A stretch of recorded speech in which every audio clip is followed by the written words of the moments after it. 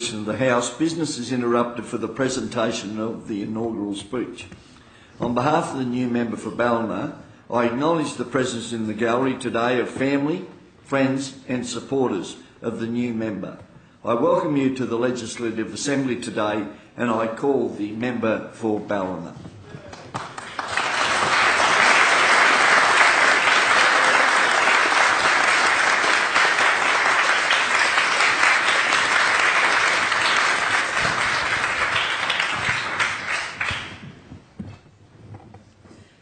Thank you, Mr Deputy Speaker. Uh, I would like to pay my respects to the traditional owners of the land on which we meet, the Gadigal people and the peoples of Eora country, elders past and present, and to the Bundjalung people of my homeland, elders past and present. Uh, I was going to congratulate Madam Speaker on being selected for a second term. I still will, and, uh, and continuing as the first woman in that role. She acknowledged in her remarks on the first sitting day a number of firsts by my female colleagues in this place, and I am proud to be part of that list as the first woman to represent the seat of Ballina. On that note, allow me to make special mention of my colleague and Green sister, the member for Newtown, Jenny Leong, and note that together we are the first Greens women in this House. The more closely the demographic of Parliament reflects our society the better this place is likely to be in representing the people of New South Wales. I was honoured to be joining a, str a, stronger Greens team in the New South Wales Parliament, and I acknowledge the member for Balmain, Jamie Parker, and congratulate him on his re-election. He has paved the way for many more Greens to enter the Legislative Assembly in the future. And to my new colleagues in the Upper House, Jan Barham, Jeremy Buckingham, Mehreen Faruqi, John Kaye and David Shoebridge. I am very much looking forward to working with you in the Parliament and in my electorate. In the Greens room, party room, we have such wonderful diversity and people of passion and commitment working hard every day for the people of our state and for the protection of our amazing natural environment. I also acknowledge the dedication of the former member for Ballina, Don Page, who served our community as member for 27 years. A true gentleman who conducted himself with honour and steadfast determination to improve the lives of those in our region. I would also like to do a shout out to my fellow Byron and Ballina Greens and supporters who are watching this tonight from the Ocean Shores Tavern.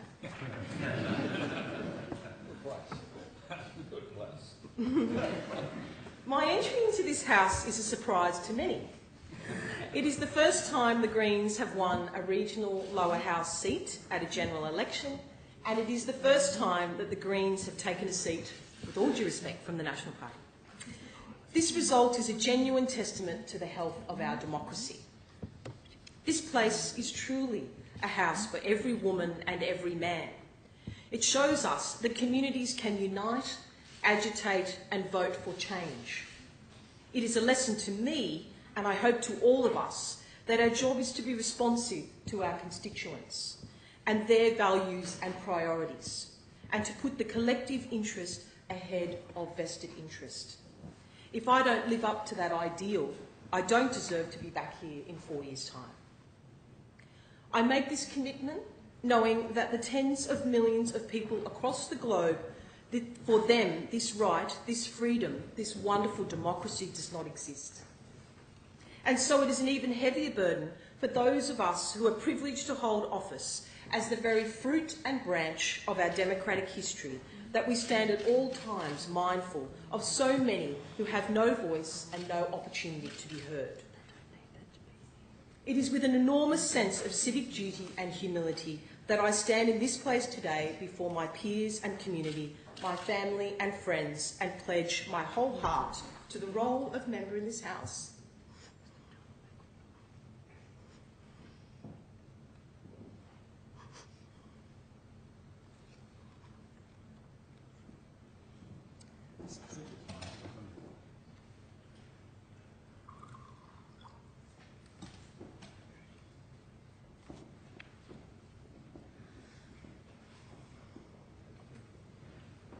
People tell you you're going to get emotional, but you don't. Really, you don't. I actually didn't believe them.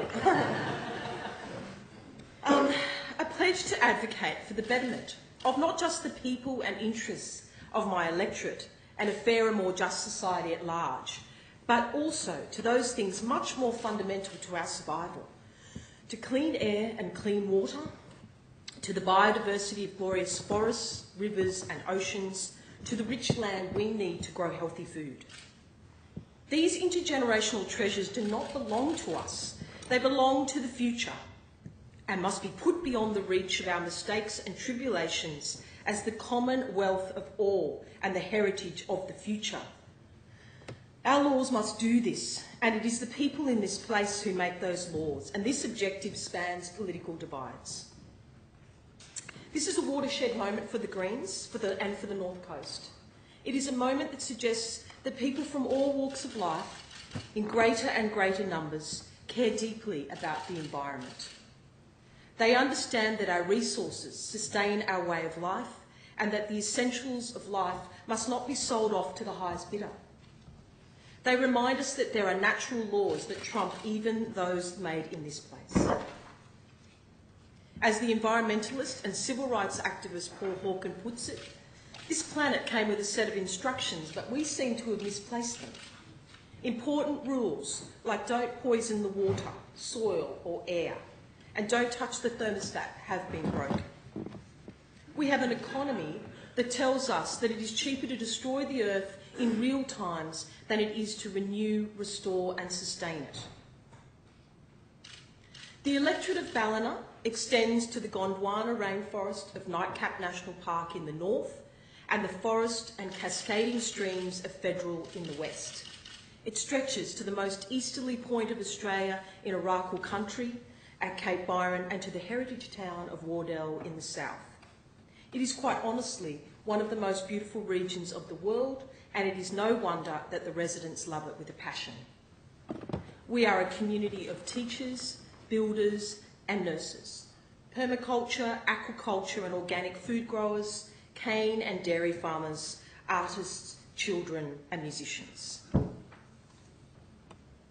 We saw in this election in the Ballina and Lismore electorates farmers and environmentalists, people from the towns and the bush, children and grandparents united against the industrialisation of our hinterland and standing up against the threat to our food and water security from unconventional gas mining.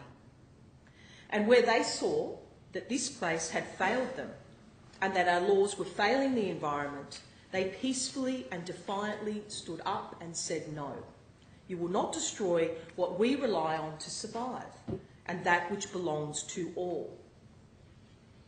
There was a moral lesson in this, but there is also a political one. While unconventional gas may have been the catalyst, I believe the mood for change runs far deeper. At the last election, people from all walks of life started to see themselves and their hopes reflected in the social and economic policies of the Greens. They see in the Greens a deep commitment to genuine grassroots democracy where local people have a greater say in their economic future. They see in the Greens a commitment to ecologically sustainable development, and they hear the Greens' message about the opportunities that renewable energy offers, creating a future away from fossil fuels. It makes no sense to them in the dying days of the fossil fuel industry, as new, cleaner technologies proliferate and the effects of climate change are felt more acutely with each passing year, that a society backed by a responsible government, would seek to unleash a new, dirty, destructive industry on our lands. An industry that would see our exquisite region dotted with gas fields, drill casings that leak methane into the atmosphere, and that risk our clean, precious water. When we have the radiant sun shining down on our region and are on the cusp of a renewable energy revolution. We are a lucky country and a lucky state, but we are stealing the future, selling it in the present, and calling it gross domestic product. People see this and they are looking for another way, a greener way. As Richard Di Natale said last week, The future for us as a party is very bright. The issues of the 21st century are green issues.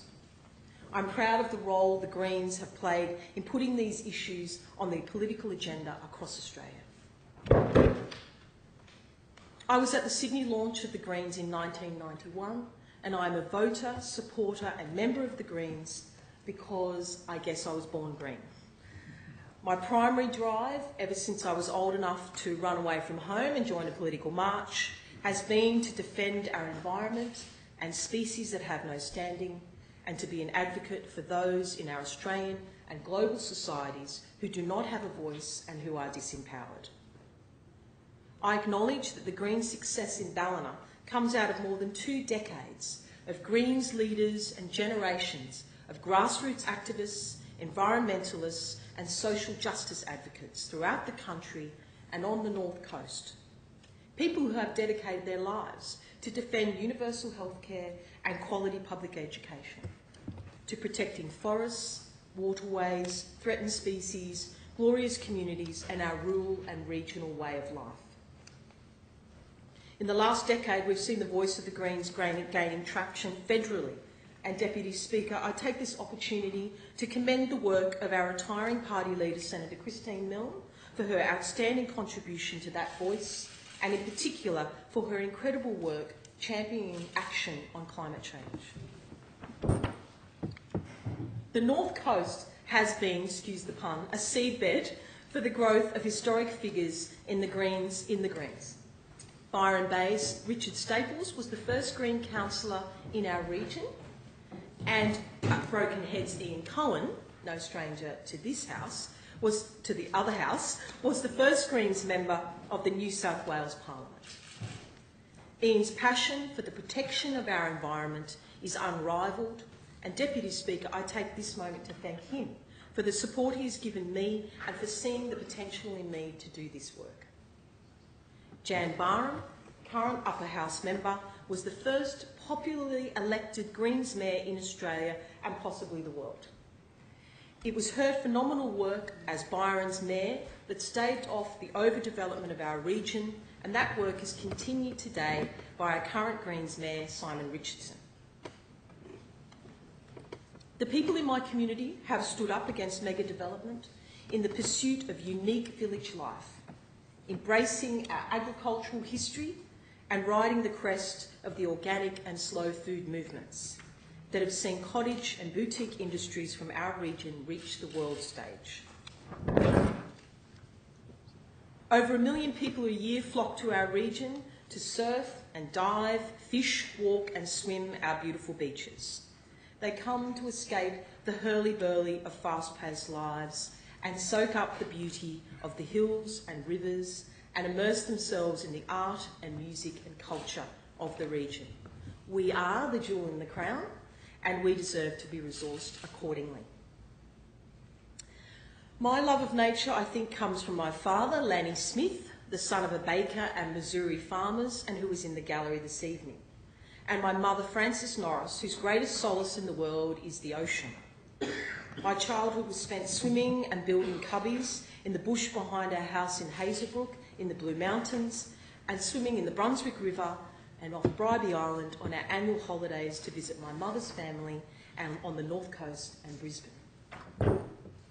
My father taught me to body surf at Harbord Beach when we moved to Manly and as a young teen I learnt to ride a board and spent my early mornings and afternoons until dusk surfing North Steyne.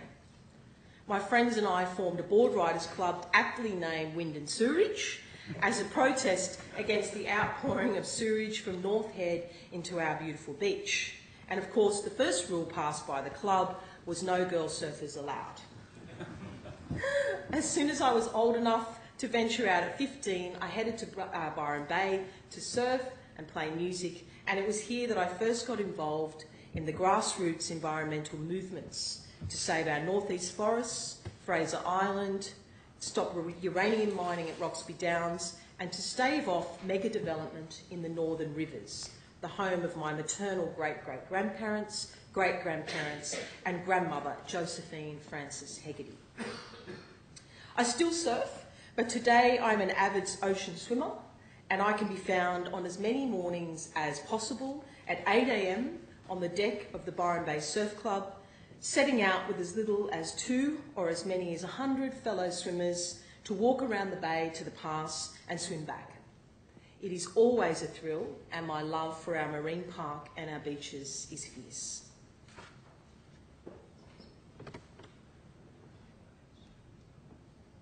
My strong sense of social responsibility comes from being vulnerable in my own life and a professional life in education and law. I know what it is like to have to grow up quickly and leave school to care for a sick parent and to do my HSC at TAFE because I had outgrown the cultural context of my peers. I know what it is like to raise a family on one income, to be unemployed, and to uproot my family and move, move 2,000 kilometres to the outback away from home. I've been that working mum who is sitting up at night finishing her studies so that her child can have a better life. I was a teacher for 20 years in public schools in remote and regional New South Wales and the western suburbs of Brisbane, and I cut my teeth as a solicitor in Redfern and the Northern Territory.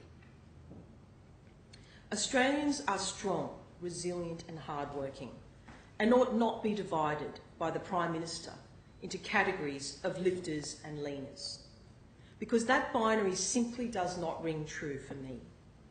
A caring country and state understands that any one of us may need to lean in, to take shelter when the vicissitudes of life hit hard, and that meaningful work and quality education are the things that lift us to be our best and most productive selves.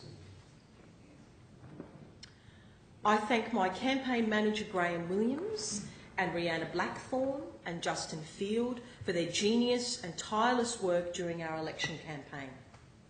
I owe my election to them and the hundreds of volunteers who selflessly gave up their time to campaign for a different sort of politics for the North Coast.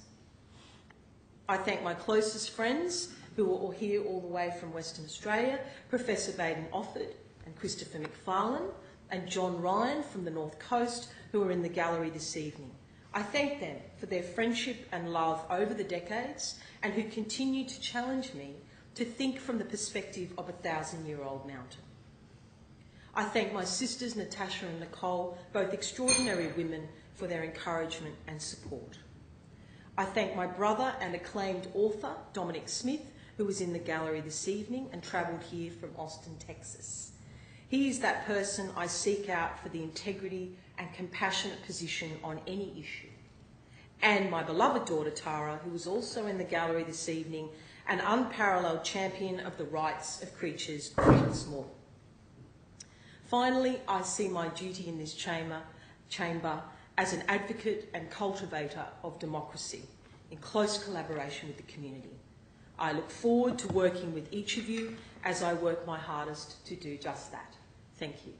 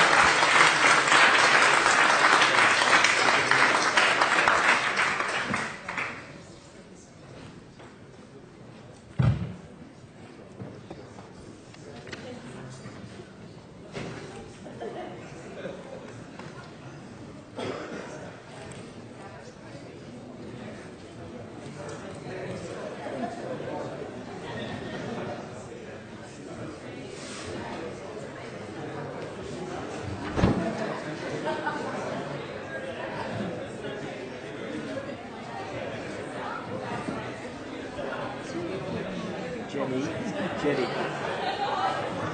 Does Jenny want to do a private members down?